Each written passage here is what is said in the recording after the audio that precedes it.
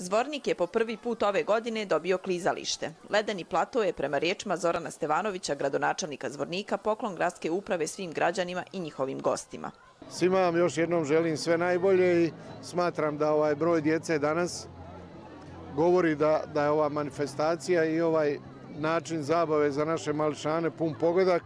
Očekujem da, da će ih poslužiti vrijeme i i da ćemo mi ko organizatori za sljedeću novu godinu obezbijeti još veći prostor, pošto, kako vidimo, ima interesovanja. Zvorničani, posebno oni mlađi, obradovali su se klizalištu. Drago im je kažu što sada i u svom gradu naredna tri mjeseca mogu uživati na ledu.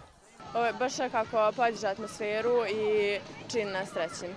A klizat je baš zanimljivo da sad se nikad nisam klizala, a ovo mi je prvi put. Jako je zanimljivo. Nije bilo nikakvih padova jer vozim rolere, a mnogo slično. Za klizanje u trajanju od 50 minuta potrebno je izdvojiti dvije marke, a bit će, kako kažu, nadležni i besplatnih termina.